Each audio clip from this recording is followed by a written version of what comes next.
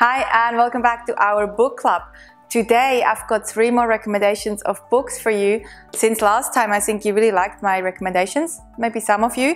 Now I've got three more. Two are business books and one is something slightly different. Now, the first one is Scaling Up, and this is written by Verne Harnish, who is also the author of Mastering the Rockefeller Habits. So this is sort of the updated version of Mastering the Rockefeller Habits. This is a really good book for any business owner who wants to scale, as the title says. And it's probably not the easiest read it's sort of a little bit boring, but it's a really good book.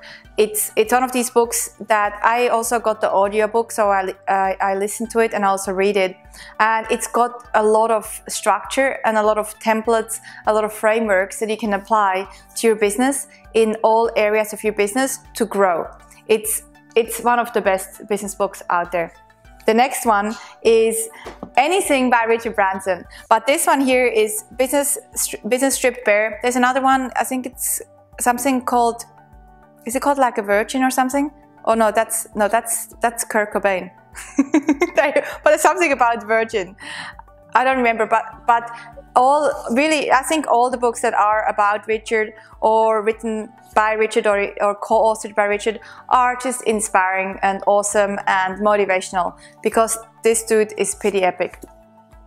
So any one of them I think are, are, really good. And then the last one is The Blue Sweater. And this is written by Jacqueline Novo, Novogratz. And I really like this book because it's really sharing her story of how she set up some microfinancing in the developing world, in Africa mainly.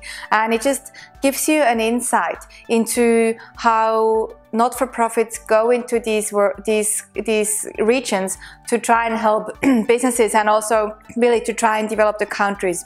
And this one specifically I like the blue sweater because it mainly just talks about how they're supporting businesses in a sustainable way because there are many different ways how we can support the developing world and a lot of our efforts sometimes maybe backfire a little bit but this is just giving you an insight into how to do microfinancing the right way for for businesses that need our help but so that they can be sustainable themselves a really good book. So these are the three books that I have for you today. I'll come back in a few weeks again and I'll give you more books because I've been reading a lot lately since I've been traveling. A lot I get to read at the airports, always like a nerd. So I have a, a ton more books for you that I'd like to share with you.